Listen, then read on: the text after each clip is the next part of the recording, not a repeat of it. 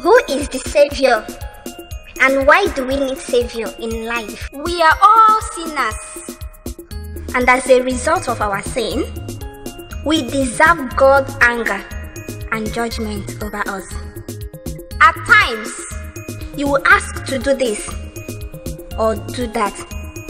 Maybe wash plates, take care of your younger ones, do your homework, and as well, be a good child.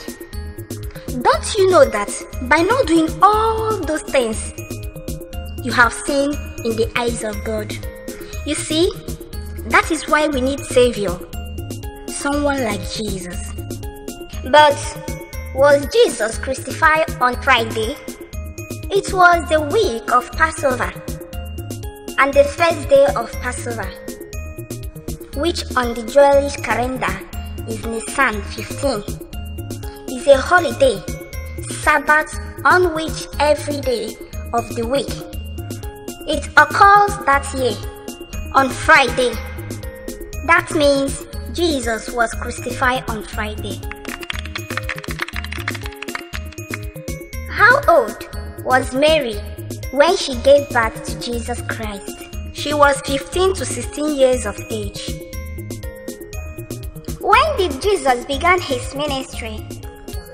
Jesus began his ministry at the age of 30 and was crucified at the age of 33. So, can you tell me how old is Jesus today?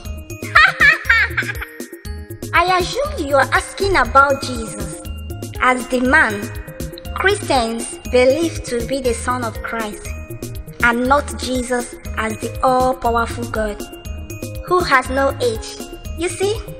To answer your question, first, to find out how old someone is, then you count years from their birth, not death. So it's estimated that Jesus was born between 7 and 4 BCE, which would make him 23,000 years this year. Hey!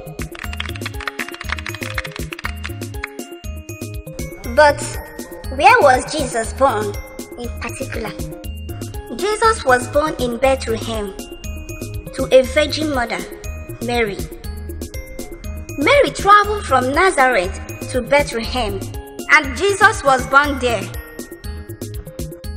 Okay, wow. So, where was he raised? According to the New Testament account of the Apostle, Matthew Joseph and Mary were living in Bethlehem in the southern region of Judea at the time of Jesus' birth and later moved to Nazareth in the northern Galilee. You are so brilliant. How do you know all this? Because I always read my books and do my assignments.